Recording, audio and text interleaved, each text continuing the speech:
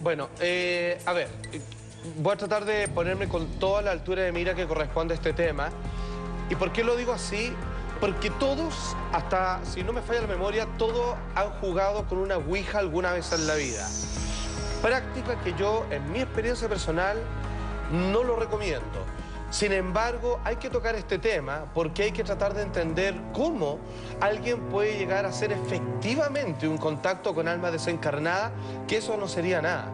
Cuando uno se encuentra con seres, como les llaman del bajo astral, verdaderos demonios, que llegan visitando producto de que uno hace una invitación, como dicen los expertos en esta materia, que uno abre un portal y que pueden terminar quedándose en la casa, poseyendo a las personas, de un largo etcétera, la verdad que con el dolor de mi alma y simplemente para que usted finalmente entienda lo peligroso que es esta práctica, vamos a hacer entrar una Ouija a este estudio y yo sé que hay varios acá que lo han hecho y vamos a explicar, digamos, cuál es lo terrible de finalmente en términos de consecuencias. Hay consecuencias, escúchame, yo voy a hacer la corte, después voy a explicar bien. Yo me tuve, mi primera oficina que tuve con mis socios saliendo de la universidad, tuvimos que dejarla y la verdad que pido disculpas porque me tuve que hacer el loco, porque el dueño de la oficina, nos fuimos nomás, no sé cómo habrá quedado eso, ahí en Pedro Valdía con Providencia, pero por jugar con esto, eh, tuvimos que abandonar ese lugar, sencillamente. O sea, nunca lo sé. Lo he hecho dos veces en mi vida y las dos veces resultó, ya voy a ir con los detalles, profe, pero las dos veces que lo he hecho resultó asombrosamente y la verdad es que usted tiene que atender a varios asuntos antes de realizar esto. ¿Ahora? Eh, no, a la vuelta de esta pequeña pausa comercial, porque yo no puedo evitar que ustedes jueguen con esto, por lo menos tengo que hacerle al menos la advertencia. Una pausa y ya volvemos. Excelente. Quiero a Mini. Bueno, ¿qué es lo que sucede desde tiempos inmemoriales? Han existido instrumentos, herramientas para que nosotros, los que aún estamos vivos, puedan comunicarse con por distintos motivos. ¿Y eso es la necesidad de tratar de establecer comunicación? Absolutamente, sí.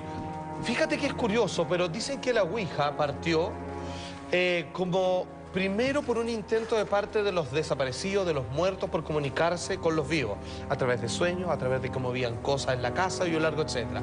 Fue entonces donde, a través de una serie de instructivos, Ouija es una mezcla de la palabra que significa sí en francés y, alemán, como oui y ya, y claramente eh, se refiere a que a través de ella dictada su forma precisamente por aquellas personas desencarnadas, podríamos volver a tener un diálogo para resolver temas pendientes eh, con personas, digamos, que ya fallecieron.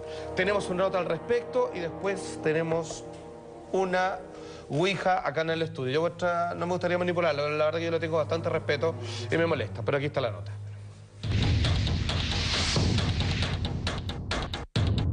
La Ouija, uno de los juegos más tétricos del tablero que permite contactarse con seres de otras dimensiones, con almas errantes que deambulan sin destino, muchas de ellas cargadas de energías malignas que producen caos en quienes se atrevieron a jugar a la Ouija. ¿Cuáles son los riesgos? ¿Es posible tener contacto con almas del más allá?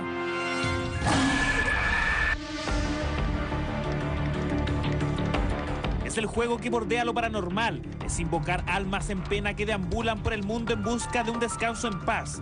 Lo peligroso se vuelve cuando estos espíritus tienen cargas malignas.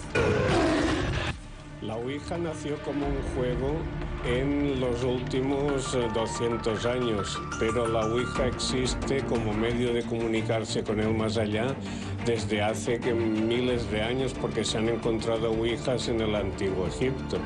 La Ouija no es un juego, es un instrumento muy peligroso. Pero ¿cuáles son los riesgos que una persona puede correr al dejar salir un alma maléfica dispuesta a dañar a quienes decidieron jugar a la Ouija? Tanto con el tablero tradicional que se vende como juego todavía y que debería estar prohibido, como las múltiples variantes que utilizan muchos estudiantes, mucha gente joven que se dedica a eso, con total desconocimiento, el, eh, el vaso, la Verónica, el Joker, todos estos juegos que se hacen los niños son portales al mundo de los espíritus y son, como te digo, algo muy peligroso. No, es que el principal riesgo de la Ouija es precisamente eso, que se abre un portal, se abre un umbral hacia otras dimensiones y llames a quien llames, invoques a quien invoques, normalmente no se va a presentar el espíritu al que tú llamas, sino se va a presentar un bajo astral, un desencarnado, un pequeño demonio o un gran demonio. Se han dado muchísimos casos en Argentina, en México, en Chile, en muchos países que eh, hay niños, escuelas enteras que han quedado bajo la influencia del juego de la Ouija y que ha habido auténticos eh, desastres a nivel personal y familiar.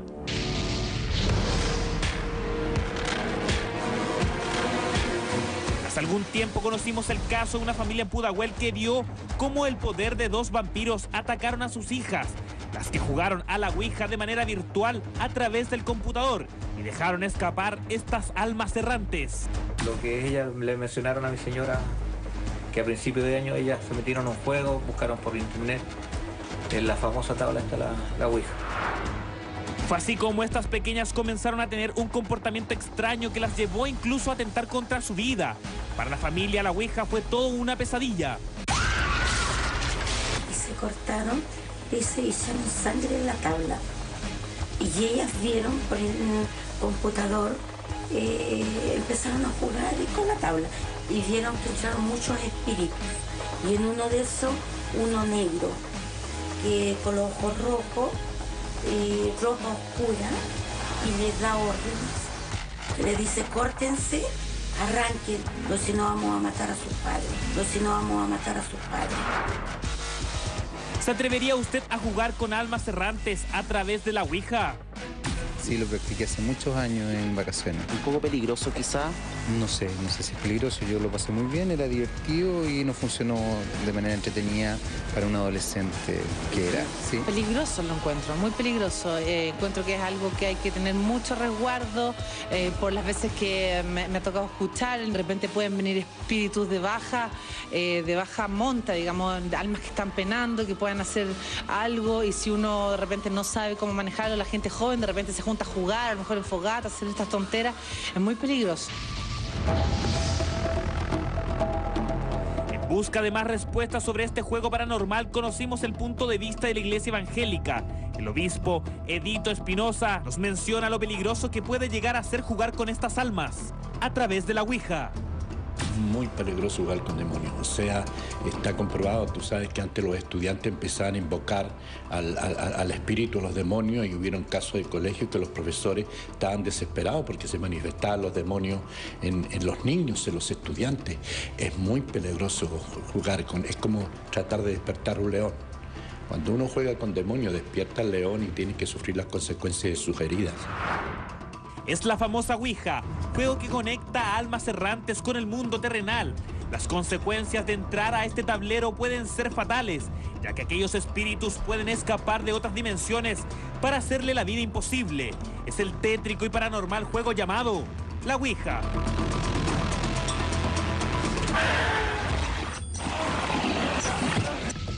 Como afirmaba la nota, la verdad es que eh, cuando se practica o se juega con la Ouija, generalmente las consecuencias pueden ser en términos colectivos, vale decir, pueden que se vean afectados primero por depresión, luego por posesiones que digamos son las más difíciles pero no se pueden descartar, o que derechamente el espíritu invocado, ya sea de un pariente fallecido porque se presenta de esa manera, o quizás un demonio del bajo astral, como otros así lo afirman, podría quedarse por largo tiempo en la casa haciendo sus travesuras. Eso último, al parecer, fue lo que me ocurrió a mí, estoy hablando de aproximadamente comienzo de los años 90, tengo una oficina en Pedro de Valdivia, cerca de Providencia, y con un amigo eh, comienza a pololear con una chica que es, leía el tarot y era muy dada a estos temas, y decía que ella tenía, digamos, una facilidad impresionante para jugar con la Ouija. Bueno, lo hace.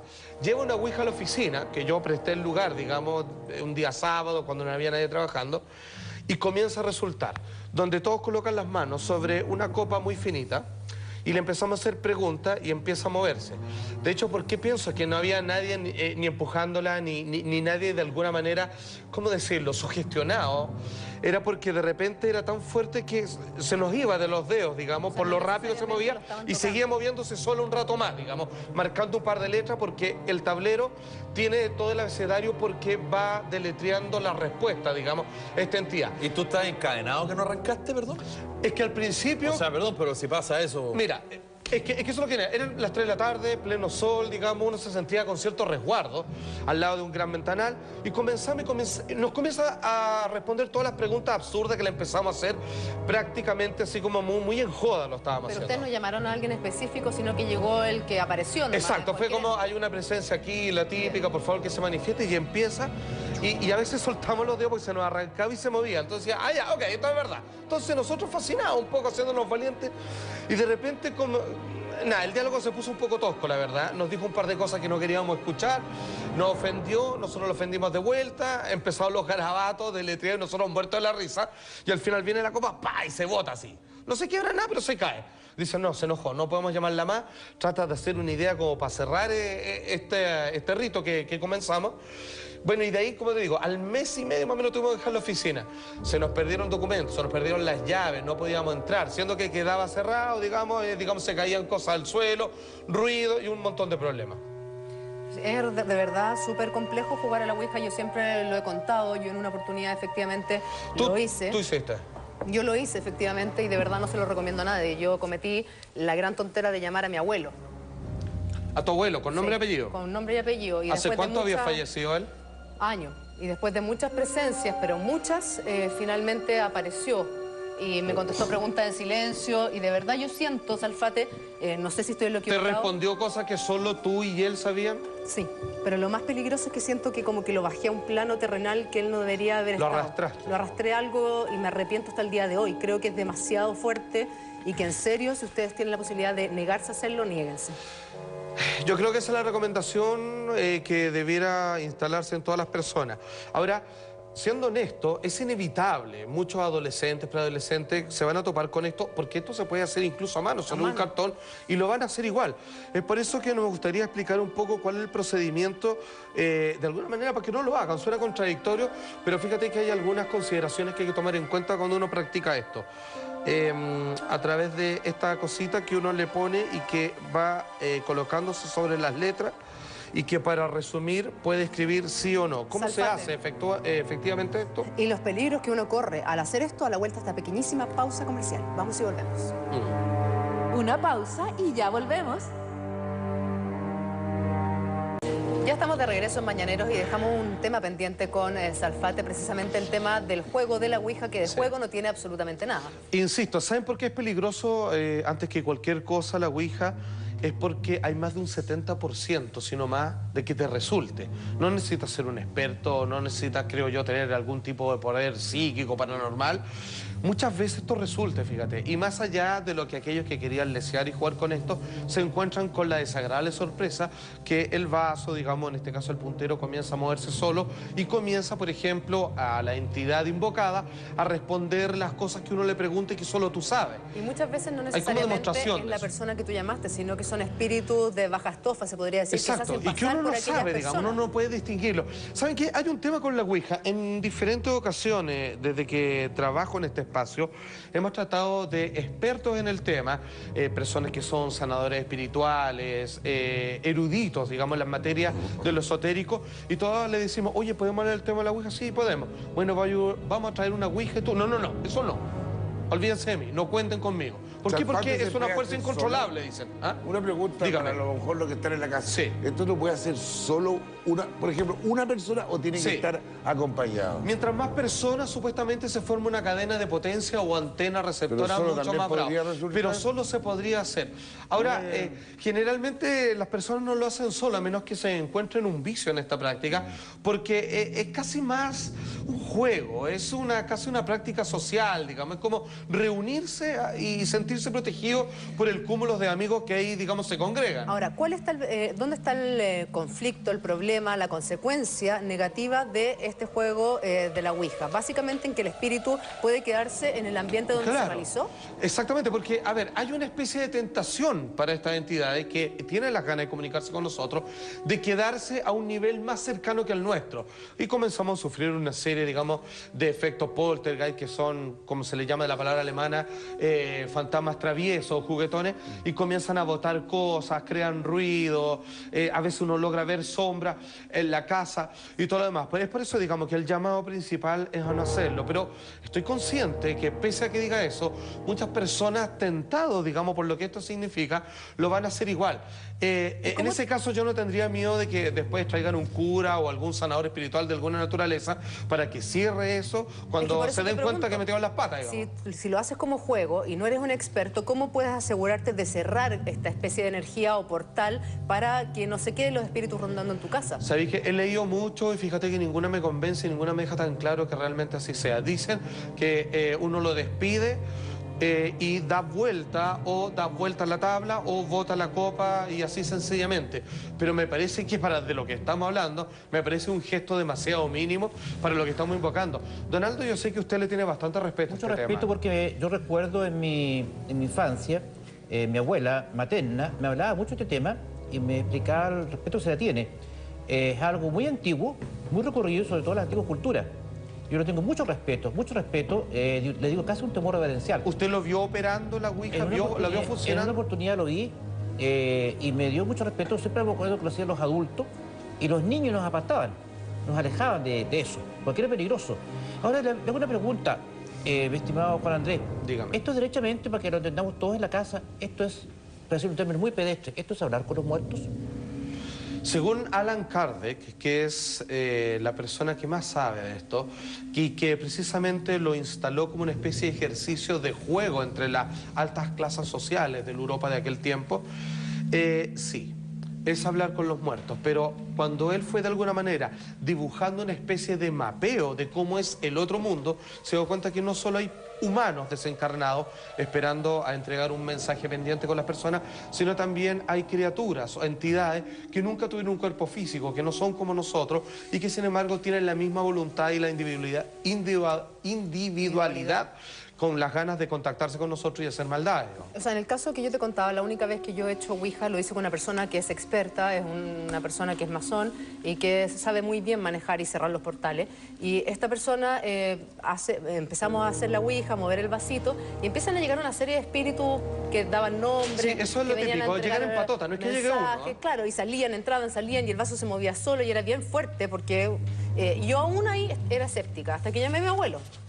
Mi abuelo aparece, entonces esta persona que guiaba la Ouija me dijo, para que te quede claro que es tu abuelo, hazle pregunta mentalmente. ¿Ya? Y él te va a responder. Yo no, no verbalizaba las preguntas, las pensaba, y él efectivamente me contestaba Respondí a tu pregunta. absolutamente todo. Es más, le mandó un mensaje a mi hermano. Un mensaje que con el tiempo se cumplió, lamentablemente. Pero, pero es un tema demasiado potente, un tema demasiado fuerte. Primero, porque no sabes qué pasa con el espíritu de tu ser querido. Se queda ahí, lo Sí. bajaste a un plano, eh, Esa- le hiciste una- daño. Claro, es una pregunta. A ver, digamos que usted eh, no tiene, vamos a decirlo así, la consideración de lo que le puede ocurrir a uno, por lo menos tenga la deferencia de que cuando invoca a un ser fallecido, quizá uno en realidad no sabe, no hay un mapa, digamos, del otro lado, que qué le puede estar haciendo a él. Lo está arrebatando de algún lugar, de un estado de paz. de la tranquilidad. Claro, le está cortando algún ciclo, cosas que él está cumpliendo allá. Ojo, a ver, las religiones, digámoslo de frentón, evangélicas, católicas, por supuesto, hablan respecto al tema de la Ouija, creen en ello y absolutamente tienen una ordenanza. Usted jamás se le ocurra, como a nivel de pecado mortal, jugar con esto.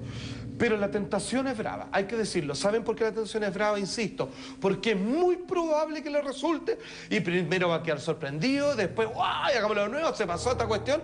Pero cuando comienza la consecuencia, ve que usted no tiene control sobre el ejercicio que está llevando a cabo, ahí es donde comienzan los problemas y en realidad no sabemos las consecuencias al otro lado de la Ouija. A mí me llama la atención una particularidad de lo que pasa ahora. O sea, es como Sí, que el es- ambiente es que acá tiene ese poder. es tenso. Sí. Más allá del como- frío que hace, como que igual está a la situación presente. No, no, no, pero en definitiva yo... Pero, más que no, no, creo, es broma, ya, pero es que, no, no, es que Pero tengo veo a un pito Iván en el que- oído. o sea, yo veo a. Iván cuando que- me decía, toma tu cruz, diablo, así como lo veo chico. Yo veo a Iván escéptico, veo a Donaldo que, que le tiene mucho respeto, Felipe que está callado, así yo, estoy más, yo estoy más asustado que... Yo le tengo terror. le tiene miedo. Estoy aterrado. Bueno, todo- a ver, esto muy es tan simple como todos aquellos que han tenido una experiencia, ya sea en calidad de testigo o participado, le tienen respeto. De hecho, me ¿Por qué acerqué- resulta? De hecho, me acerqué ahí y como que una mala vibra que preferí venirme... A ver, yo puedo decir una cosa, por favor. Las dos veces que hemos intentado hacer Ouija, hasta lo que entiendo contigo, Salfate, en este canal, fue en este estudio Y en el otro, y en el otro estudio. que se dio vuelta un cojín, Ya, ¿te acuerdas lo- que en- terminó en la mitad? Y La- ahí paramos. Las dos veces Perdón, tuvimos que... lo, lo voy a recordar. En una, estamos en el estudio, las somos y golpean la muralla así, ta, ta, ta. Y nosotros, ah, ya, porque saltamos. No había nadie. Por mis hijos. Y lo que señor. pasó a continuación, ya sigamos, ya, pero no, no bromeen.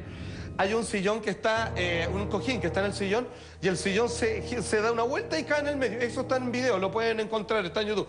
Y ahí eh, ese tema que pensábamos hacerlo 20 minutos duró 7 minutos y nos fuimos. Dijimos, ya pasemos otra cosa porque mejor que no. Por lo tanto... Carga los ambientes, es muy fuerte. Sí, carga lo carga. Pero no se enojen conmigo porque yo no crea. Pues no, No, por supuesto. Pero ¿por no qué me se van a miren enojar? No me miren así como, no, vaya a creer. ¿Por qué? No, No, para nada. vamos a hacer algo, profe. Le vamos a regalar esa ouija para que se la lleve para la casa. Yo yo, lo único que le voy a decir, le van a venir a tirar las patas, profesor. Como se decía Invito, antiguamente. invito a, la- a los espíritus que vengan a tirar las patas. Recomendación, Salfate. No hacerlo, pero como sé que lo van a hacer igual, eh, infórmese bien para que usted pueda cerrar el ritual que en algún momento va a iniciar y no va a saber cómo ponerle fin. Al menos informarse.